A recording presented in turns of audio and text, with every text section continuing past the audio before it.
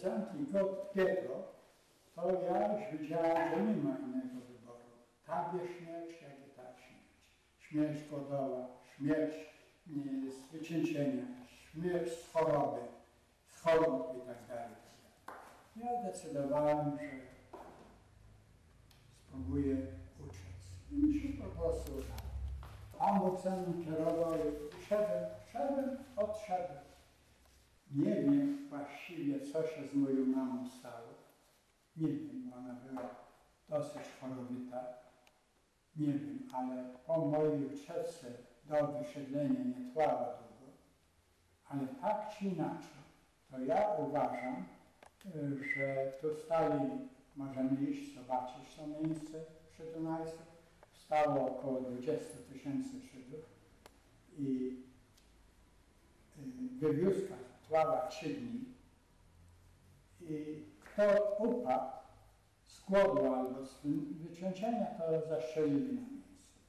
A jak nawet dojechali do Belsa, co wątpię to, e, wagony e, towarowe były obsypa, obsypane wapnem niegaszonym i kto dojechał do tego Belsa, to nie mam pojęcia.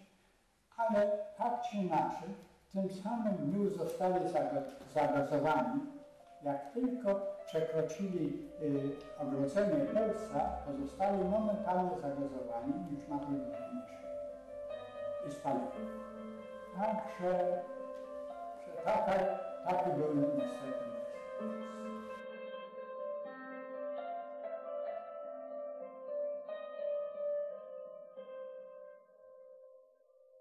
Moi drodzy, wy tego, tam jest to trudno wytłumaczyć, to trzeba było przeżyć. On to robił systematycznie, po trochę, pomału i, i, i z głodem, z zamknięciem w wiecie, szczelanie, że tak, że człowiek nawet najmądrzejszy to stracił Boga. Został obojętny na wszystko. I to było to nasze nieszczęście.